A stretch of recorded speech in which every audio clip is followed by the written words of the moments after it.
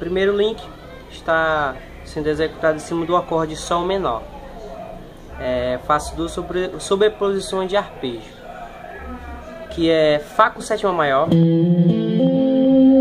Si bemol com sétima maior, oitavo, esse mesmo arpejo, né? Depois eu toco Sol menor 7 e 9. Então fica com palhetada sweep, é claro.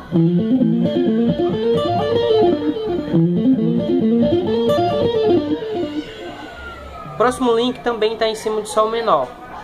É, eu faço um, uma sextina é, é, com seis notas na, na, mesma corda, né? Tocando vários rameron e pull-off.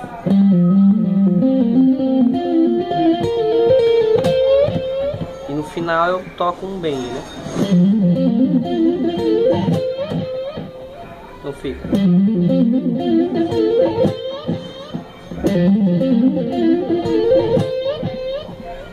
Próximo link eu toco em cima do Lá 7, né? O que, que eu faço? Faço uma menor harmônica, é, uma escala menor harmônica de Ré.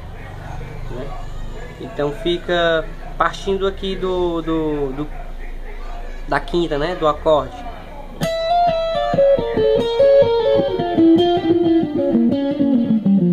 E repouso na nona.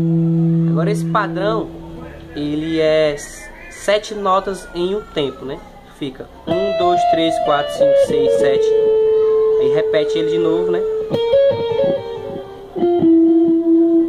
Então fica.